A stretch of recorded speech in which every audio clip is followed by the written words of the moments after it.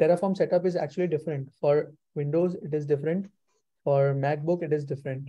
So I'm going to tell you about Terraform on both, uh, but on Visual Studio Code, I'm going to tell you uh, like on the Mac, and you can follow the same steps for the Windows as well. So what you have to do is on you have to first go to google.com.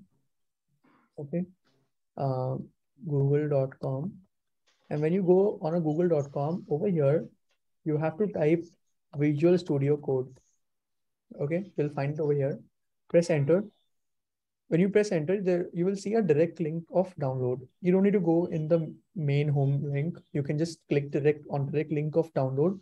When you click on this direct link of download, you will get an option to download. So you have like multiple options over here.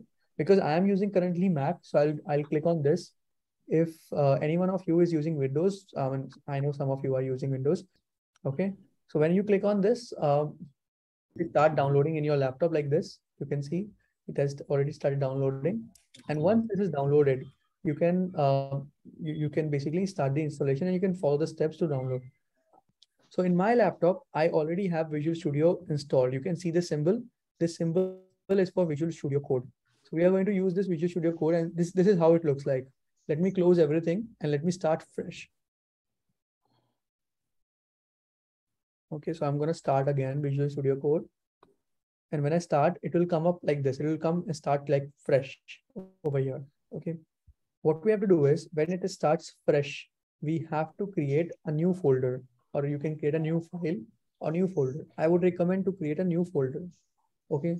So for that, what you have to do is you have to basically uh, open folder, click on open folder. When you click on open folder, you can go to any location and click on new folder. So you can click on new folder and give it a name, Terraform code. Okay. You have to give it a name, but I will create the folder over here and you can see the folder is created. And now I will open it. I'll click on open. Okay. Now over here, you can see my folder has been opened up. You can see my folder has been opened up. And now I can just click on this button. You see this button? I can click on this button to create files inside this folder. Either I can click on this, uh, like double click on this, I can click on new file, or I can just click on this option of new file. And if I click on this and I can give it a name, let's say I can give it a name main.tf, whatever, whatever file you want to create. Okay. And you can create the file. Oh, I just gave a wrong name. It's okay. You can give any name, but it should end with dot .tf. Dot .tf stands for dot .terraform. Okay, so that shows that it's a it's a Terraform file. You can create a number of files over here. You can create a number of files. You can say var.tf, whatever, you know, I'm going to talk about all these files later on.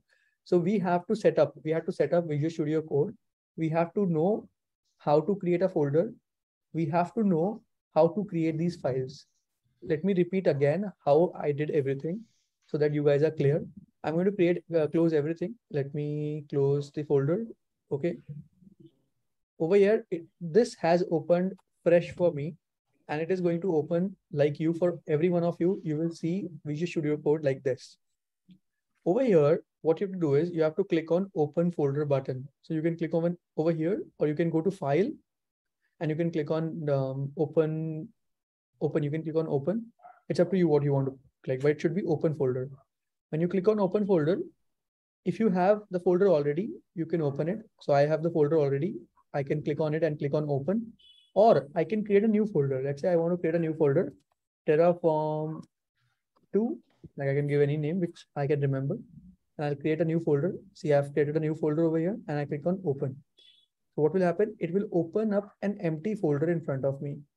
Now, I can create multiple files inside this folder. How can I create it? I can easily click on this file and I can say main.tf whatever file name you want to give, you can just give the file name and it will open up a file over here. Okay, and you can again click on right click on it and click on new file, or you can click on this option and it will give you an option to create a file. So you can create another file. So you can say I created two files inside my new folder that is Terraform 2. So this is how we are going to use the Visual Studio Code in future. I'm going to tell you more about Visual Studio Code as we progress with our sessions. But this is the basic setup you have to do. You have to make sure that Visual Studio Code is installed in your laptop.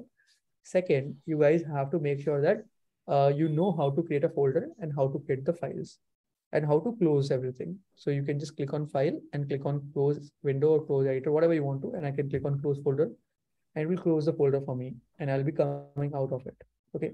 This, these are the steps which you have to follow for yourself. The steps will remain same in Windows. There will be no change in Windows. Everything will remain same. You will see a file option over there. You will see a open folder. Everything is going to remain same in Windows as well. After that, once this is done, once uh, the you know Visual Studio Code is installed successfully and you know how to create the uh, files and folder, then let me tell you how to create your AWS account. So the people who are new uh, and they want their own free account, they don't want the inside sandbox account, that's okay.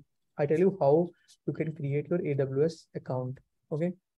So remember that in your browser, you have to type aws.amazon.com. Okay. You have to type aws.amazon.com slash console.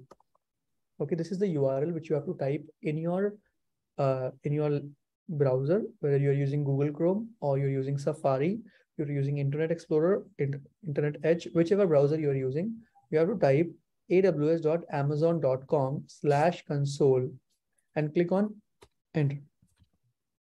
Okay.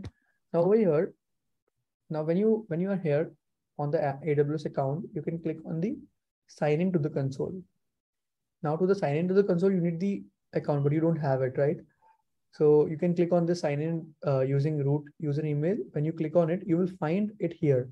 Create a new AWS account. It's it's a hidden option, I, I believe. I really feel that it's a hidden option. But let me show you how I reach to that option. First of all, you will search aws.amazon.com slash console. Okay. When you reach over there, press enter. When you press enter, you have to click on sign in to the console. This is the first step. After that, you have to click on the create. If you see this directly, create a new, you can click on it. If you see something else, you have to reach over here, create a new AWS account. When you click on create a new AWS account, you will see such a screen. Over here, it will ask you for your user uh, email address. So whichever email address you have, you can put it over here and you can give some account name, whatever account name you want to give, you can give it here and you can click on verify email address. Post this, it will ask you your address. It will ask you for your credit card because uh, it needs the credit card. So, and it will create your account. Uh, it will create a free account. Okay. So this is uh, what I wanted to discuss uh, in the Visual Studio Code and AWS account. Thank you for watching. Switch from non-IT to IT today. Explore www.thinkcloudly.com